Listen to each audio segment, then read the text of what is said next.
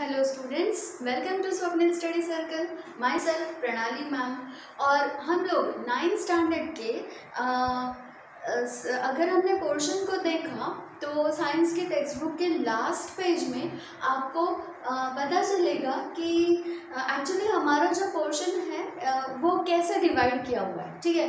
तो वो डिवाइडेड है into part one and part two. तो हमने पार्ट टू से स्टार्ट किया था और हम लोगों ने लेसन नंबर सिक्स को फिनिश कर लिया।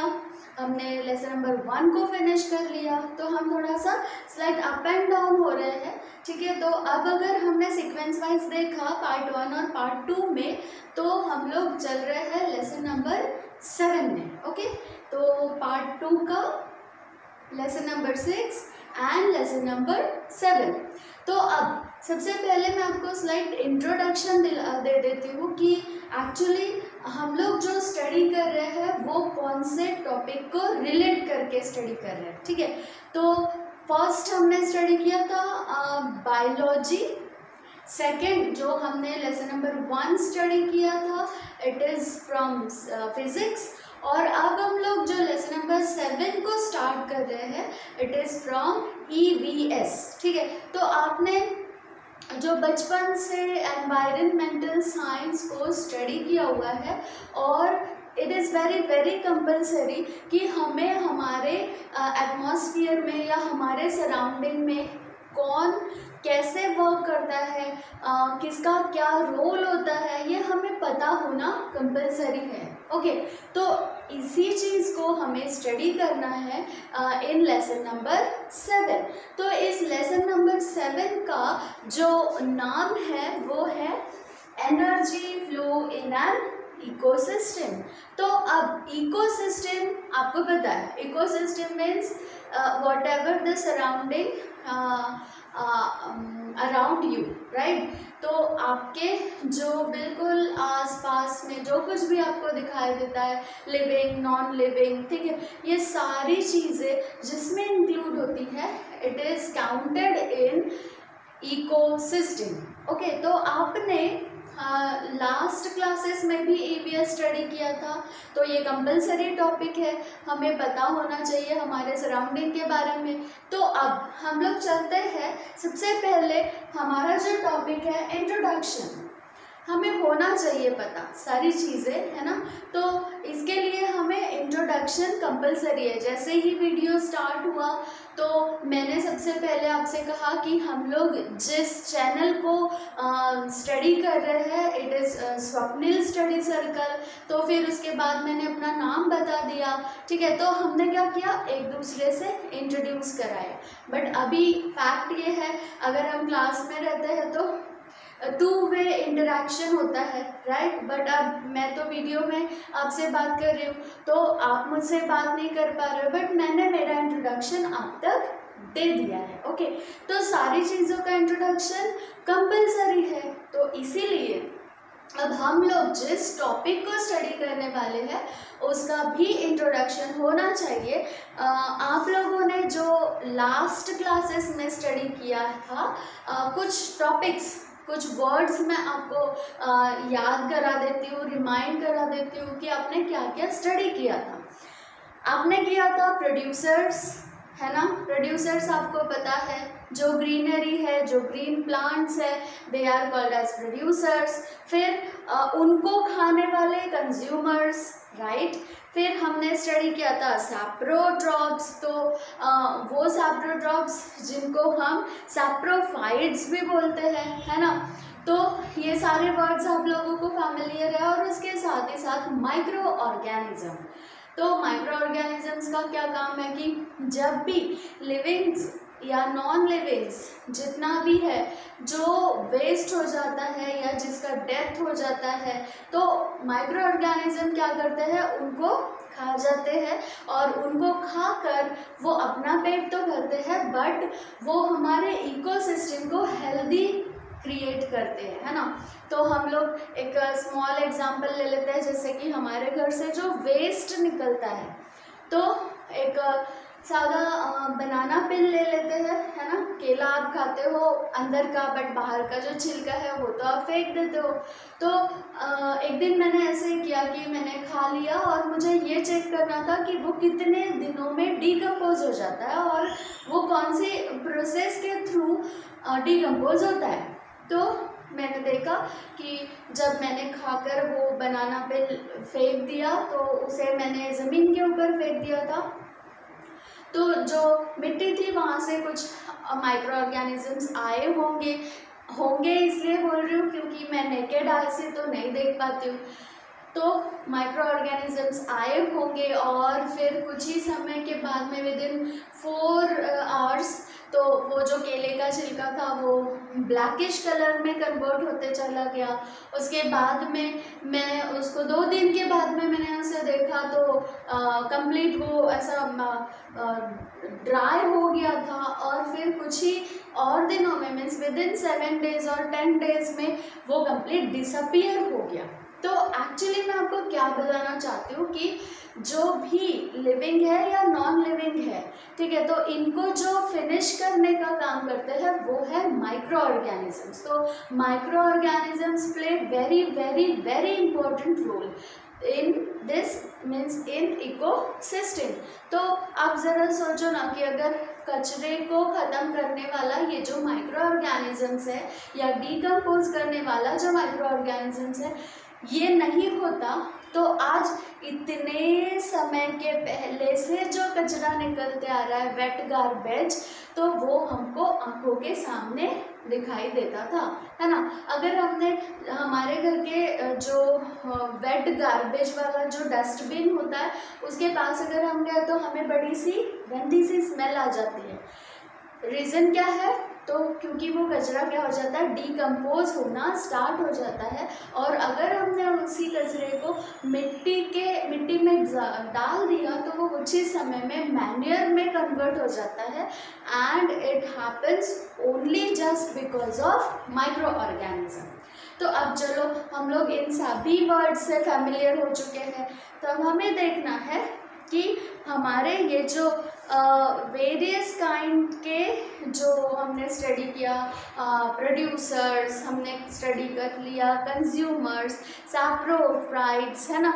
और हमने देखा माइक्रो ऑर्गेनिजम्स तो इनका जो लेवल है, वो जिसे हम ट्रॉपिक लेवल कहते हैं, ये कैसे होता है हमारे आसपास में? बट उसके पहले अब कुछ और न्यू वर्ड्स तो हमारे पास में है।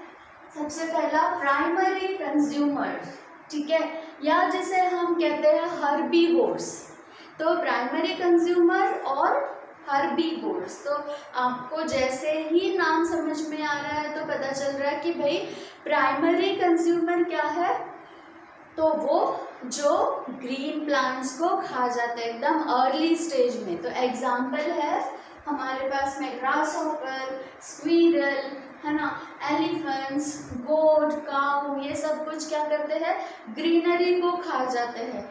तो हम इसको बोल सकते हैं प्राइमरी कंज्यूमर्स और हर्बीवोर्स देन हमारे पास में है सेकेंडरी कंज्यूमर तो सेकेंडरी कंज्यूमर में उसका जो और नेम है दैट इज़ कार्निवोर्स तो अब आपको क्या समझ में आ रहा है कि कार्निवोर्स क्या करते हैं?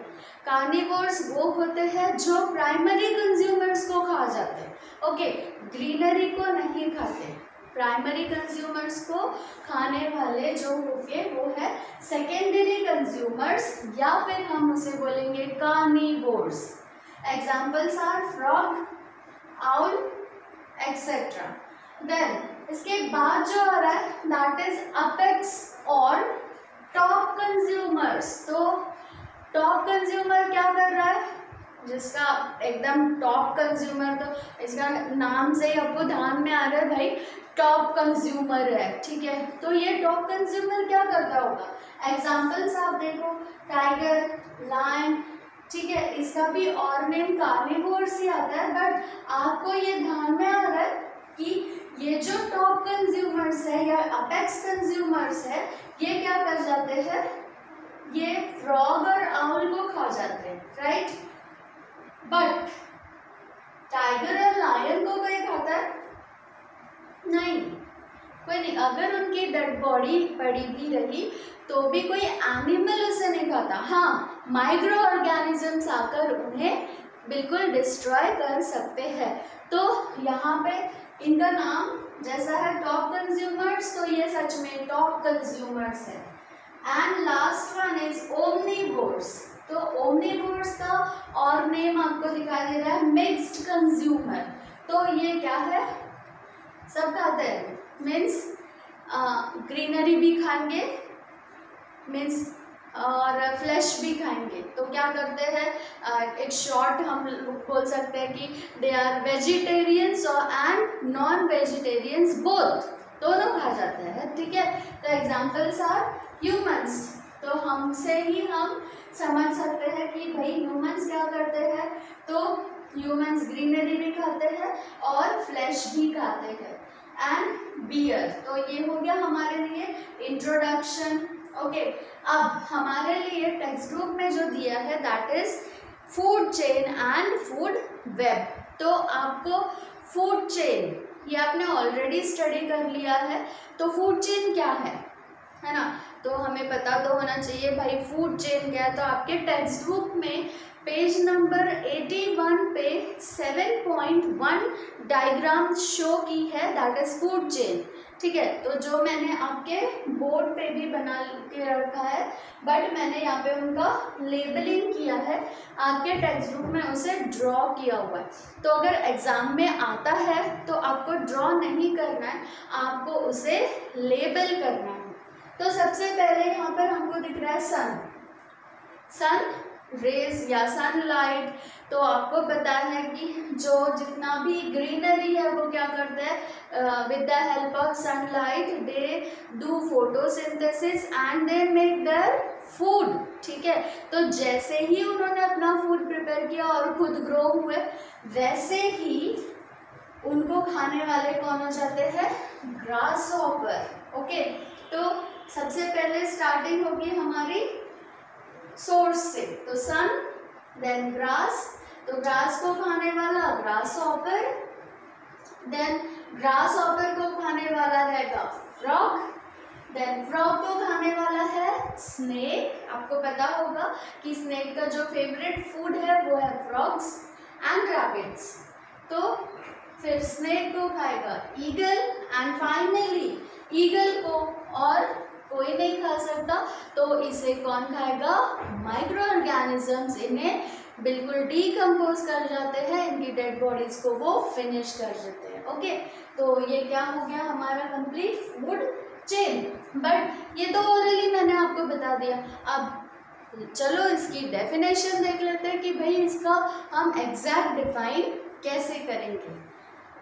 इंटरैक्शंस आपको दिख रहा है ना ये इंटरैक्शन की सनलाइट को ग्रास खा जाता है, फिर ग्रास को ग्रास ऑफ़र ग्रास ऑफ़र को frog frog snake snake eagle eagle microorganism ये जो इंटरक्शन आ रहा है go on continuously in between producers consumers and saprophytes तो सभी के बीच में कंटिन्यूसली क्या हो रहा है?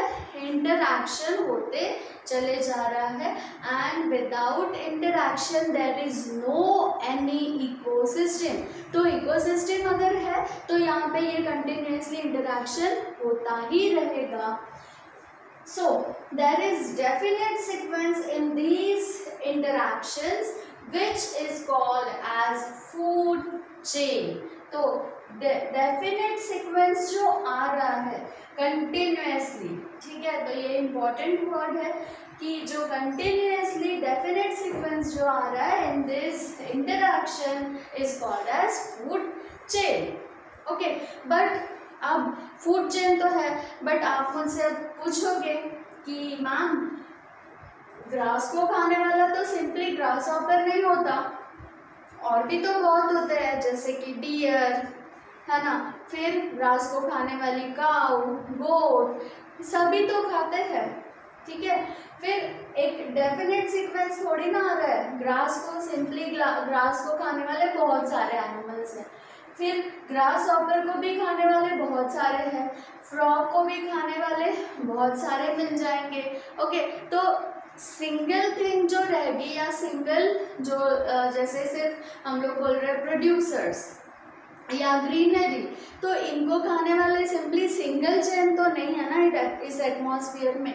तो ऐसे बहुत सारे जो है, जो पार्ट हम बोल सकते हैं पार्टिसिपेंट्स तो ये भी तो उन्हीं चीज़ को खा जाते हैं। तो अब उनका क्या करें? तो उनके लिए भी हमारे पास है। Ecosystem consist of many food chain समझ में आ रहा है? मैनी फ़ूड चेन्स तो सिंपली ग्रास के लिए अगर हमने ले लिया तो हमने देखा काउ डियर गोट है ना? सो ऑन तो क्या हुआ? Ecosystem consist of many food chains that interconnected at various levels है ना? तो सब मतलब सिंपली लो लेवल में अगर हम देख रहे हैं तो ग्रास ग्रास ऑपर बट अगर थोड़ा सा हाई लेवल में चलते हैं तो grass deer grass cow grass goat है ना? तो ये क्या हो रहा है? वेरियस लेवल्स सो दस फॉर्म फ़ूड वेब तो अब ऐसे से जो होता है ना क्या फॉर्म होगा? वो होगा फ़ूड वेब तो एक ही थिंग है बट सिंगल थिंग को खाने वाले बहुत सारे वेब तो एक्चुअली वेब का मीनिंग होता है आ, क्या बोला जाता है उसको? नेट है ना? जाला जिसको बोलते हैं। तो है क्या एक्चुअली नेट तो एक चीज़ रहेगी और उसमें बहुत सारे हमारे जो है पार्टिसिपेंट्स रहेंगे जिसको खाने वाले रह सकते हैं, ठीक है? तो अब ये फ़ूड वेब को हम लोग डिटेल में स्टडी करते हैं on page number eighty two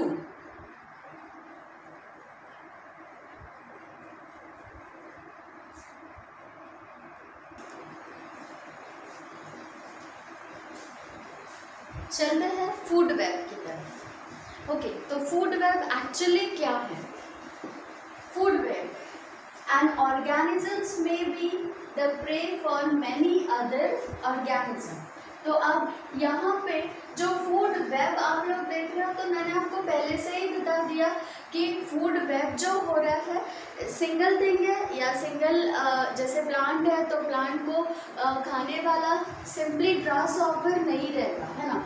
तो एक ही को खाने वाले बहुत सारे हैं तो ऐसे समय में जो कुछ भी फॉर्म होगा, वो होगा फ़ूड वेब तो अब एक्चुअली डिटेल में हम लोग साइंस की लैंग्वेज में चल रहे हैं तो कैसे होगा ये हम लोग स्टडी कर रहे हैं? सो एन ऑर्गेनिज्म और मैं तो यहाँ पे प्लांट का ही एग्जांपल ले रही हूँ तो ऑर्गेनिजम्स में be the prey for many other organisms so अब एक सिंपल एग्ज़ाम्पल uh, दिया हुआ है and insect feeds upon leaves ठीक है? तो लीव्स पे वो इंसेक्ट uh, अपने आप को मतलब खा के उसे वो खुद को ग्रो कर रहा है.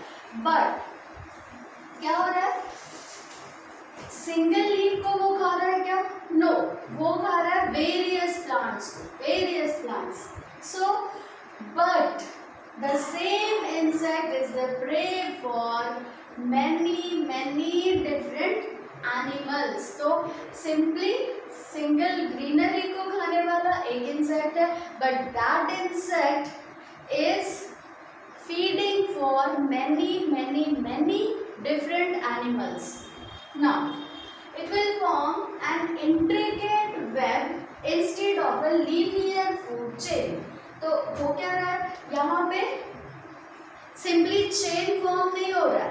तो क्या हो रहा है? ये भी, वो भी वो भी, ऐसे बहुत सारे। तो this is called as intricate web such intricate network is called a food web अब आपको शायद समझ में आ गया है कि जो सिंगल एलिमेंट है, उसको खाने वाले जो बहुत सारे आ रहे हैं that intricate web is called as food web food webs are found everywhere in the nature तो हर जगह आपको मिलेगा, हर जगह यहाँ पर ऐसे होगा कि जो भी चीज़ है, उसको सिंगल खाने वाला कोई भी सिंगल एक चेन में नहीं आएगा, वो बहुत सारे इंट्रिकेट वेब में आएँगे। ओके तो अब यहाँ पे हमारे पास टेक्स्ट बुक में सेवन पॉइंट टू डायग्राम दी हुई है। अगर आप पेज नंबर एटी टू पे देखो तो। तो आपको क्या दिख रहा है वहाँ पे? अगर आपने देखा, आपको देखना ही पड़ेगा क्योंकि there are lot of animals and plants there so अब वहाँ पे दिया हुआ है ग्रास बनाना और कोई एक ट्री दिया हुआ है, ठीक है? फिर आपको दिया हुआ है rabbit squirrel deer zebra then tiger monkey ऐसे बहुत सारे एनिमल्स वहाँ पर दिए हुए हैं और आपको वहाँ पर उन्होंने कुछ क्वेश्चंस रेज किए ठीक है? तो आपको रीड करना है और उसके क्वेश्चंस आपको फाइंड आउट करना है। बट एक सिंगल क्वेश्चन मेरा आपके लिए है कि यहाँ पर जितने भी जैसे बनाना दिख रहा है या फिर जितने भी ग्रीनरी दिख रहे हैं तो इसको खाने वाले कौन से कौन से एनिमल्स हैं, वो आप मुझे बता दो। तो यहाँ पर आप तो मुझे बता नहीं पाओगे, मुझे ही बताना होगा जो आपको डायग्राम में शो है।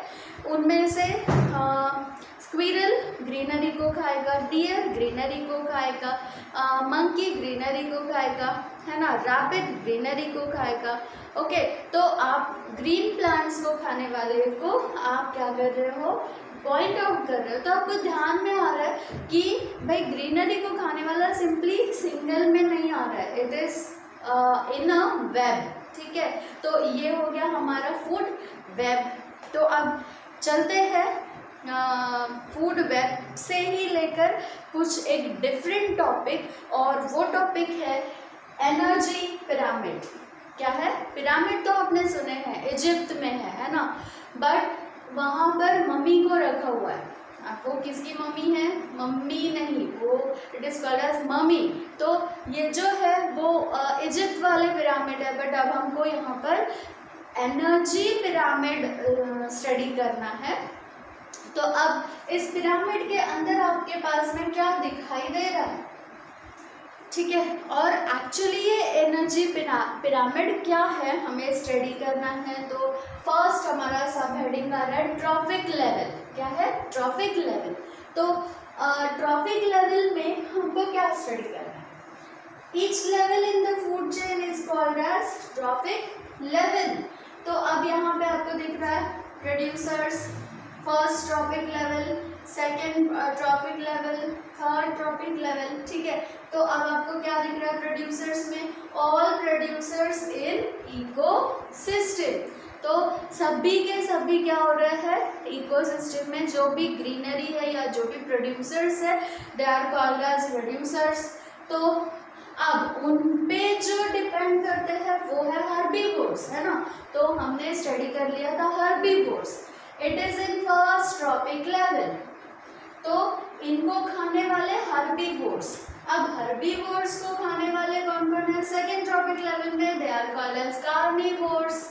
ठीक है तो कार्निवोर्स में दोनों आ जाते हैं। कौन से कौन से? दोनों आपको अगर याद है तो इसमें आते हैं सेकेंडरी कंज्यूमर और इसमें आता है अपेक्स और टॉप कंज्यूमर्स तो ये हो गए हमारे carnivores which is counted in second trophic level then third में कौन आ रहा है?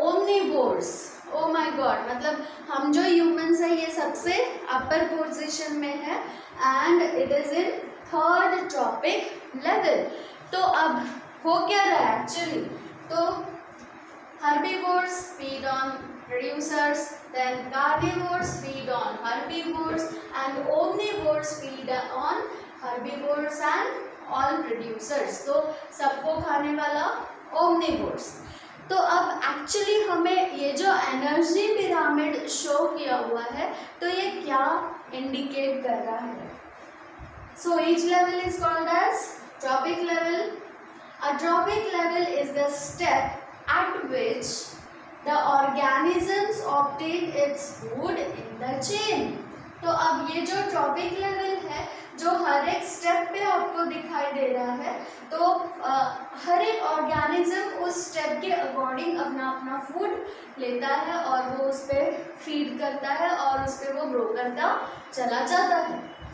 Then the amount of matter and energy gradually decreases from producers at lowest level to top consumers at the highest level तो actually हमें यही तो समझना है जो हमारे यहाँ पर लास्ट सेंटेंस में लिखा हुआ है। तो क्या है?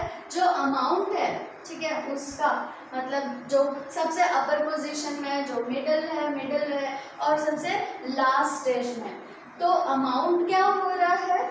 क्या हो रहा है? Amount of matter and energy तो अब सिंपली एनर्जी को ही लेकर चलते हैं हम लोग।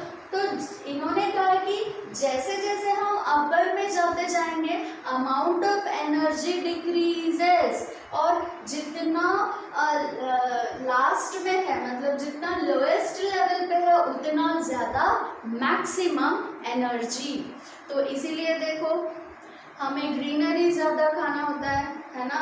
अगर हमने ग्रीन प्लांट्स को या आप डायरेक्टली कच्चे वेजिटेबल्स को खा जाते हो तो आप बहुत ही ज़्यादा हेल्दी रहते हो राइट तो यहाँ पे हमें यही समझना है कि producers at lowest level to top consumers at the highest level energy gradually decreases धीरे धीरे धीरे धीरे एनर्जी डिक्रीज डिक्रीज डिक्रीज होते चले जाती है। तो इसीलिए देखो ना, जो लो लेवल के छोटे छोटे जो भी आपके ग्रीनरी को खाने वाले जितने भी सिंपल एग्जांपल ले लेते हैं रैबिट को। तो उसमें मैक्सिमम एनर्जी है। मैक्सिमम कितना तेज दौड़ता है माय गॉड है ना?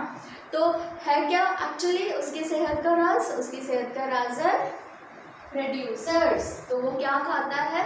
जितना लोएस्ट लेवल में हम लोग आएँगे, उतना मैक्सिमम एनर्जी हमारे बॉडी में काउंट होगी।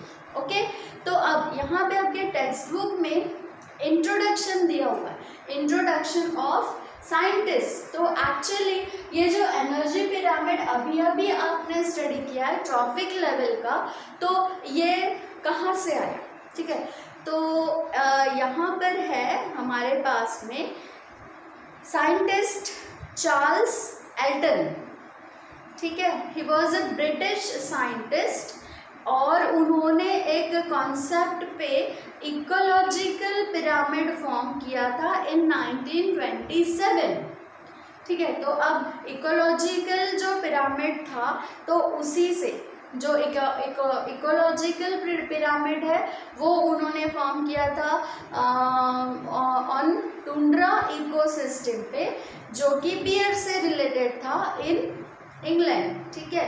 तो अब यहाँ पर जो बियर से उसने स्टडी करके कंप्लीट एनर्जी पिरामिड फॉर्म किया था तो वहाँ से ही फिर ये पिरामिड का जो सिस्टम है वो तो चलते चला गया। And this pyramid is called as, also called as Eltonian pyramid, जिसे हम ट्रॉफिक लेवल या एनर्जी पिरामिड कहते हैं। तो ये जो हर बार न्यू जो आ जाता है ना हमारे लिए तो ये किसी ना किसी साइंटिस्ट की वजह से आता है, जिन्होंने हर बार कुछ एक नया आपके लिए लाया है। तो इसी वजह से फिर हम उनके ऑनर में उसको वही नाम दे देते हैं। तो आगे भी आपको यही स्टडी करना है कि कौन से साइंटिस्ट ने क्या फाइंड आउट किया था और इसी वजह से उनके ऑनर में उनको उस चीज़ को, जो उन्होंने फाइंड आउट किया था, उसको उन्हीं का नाम या सरनेम ऐसा देकर उनको ऑनर कर दिया जाता है। ओके तो अब ये था एल्टोनियन पिरामिड। ओके, आपके लिए होमवर्क है। पेज नंबर 82 पे जो यूज़ योर ब्रेन पावर है, आपको वो डायग्राम्स देखना है और उससे जो भी क्वेश्चंस है, वहाँ पे आपको उसके आंसर्स फाइंड आउट करना है। तो बाकी का हम लोग नेक्स्ट पीरियड में या नेक्स्ट वीडियो में हम लोग स्टडी करेंगे। Okay thank you